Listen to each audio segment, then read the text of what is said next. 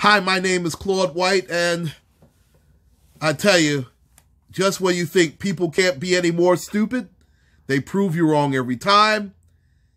And just harping on that theme, I'm going to talk about one, Le'Veon Bell, the former Pittsburgh Steeler and now New York Jet, and what happened to him on May 25th. This was actually reported yesterday.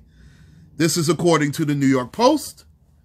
Um, on May 25th at his Hollywood, Florida home, um, Le'Veon Bell invited two quote unquote girlfriends over. Um, he had left to go to practice, left them in, in his house.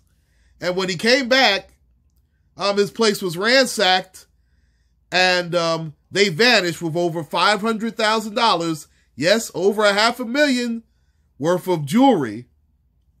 And that included a Black Panther pendant studded with black and white diamonds, two gold chains with diamonds, and, of course, a Rolex.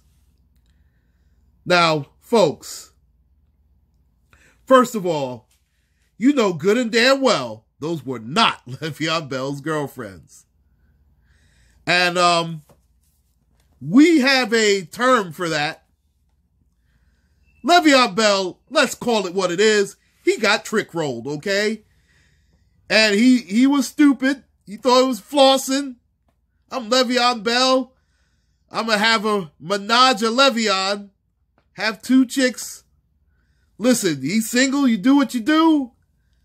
But dude, you stupid enough to leave them in the house and have your jewelry there? Hey, stupid. Safe deposit box. Okay?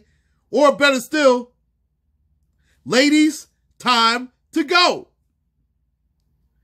You see, this falls under being sandbag. And sand is an acronym for simp ass nigga department. And they got a bag off of his shit.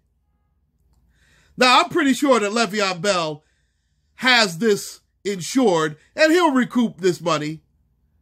But he's so goddamn stupid. He deserved what he got, and I don't feel bad for him. And I hope that those ladies, you know what? God bless them. And I do hope they get caught, but you know what? Le'Veon Bell deserves what he gets. I feel nothing for him. This is what happens, ladies and gentlemen, when simping goes wrong. Please like and subscribe. This is Claude White. And again, take care and God bless.